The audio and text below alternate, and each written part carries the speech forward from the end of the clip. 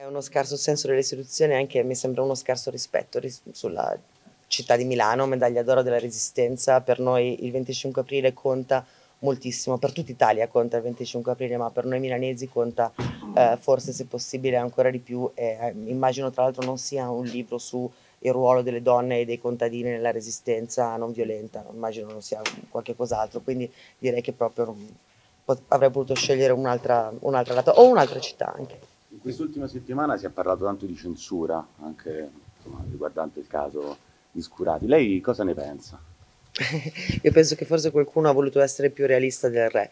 È un, po' strano un paese, se ci guardiamo come ci guarderebbe un marziano, un po' strano un paese che eh, dibatte su ma ci si può dire antifascista come, quando, in quale luogo eh, si ha il diritto di dirsi antifascisti. Antifascista è la nostra Repubblica, antifascisti dovremmo essere tutte e tutti noi, almeno io lo sono. Però ci sarà il governo, eh, il governo chiediamolo loro, è un'ottima domanda. Io voglio confidare che tutte le più alte cariche dello Stato siano profondamente antifasciste e che non abbiano paura di dirlo ad alta voce, perché questo è.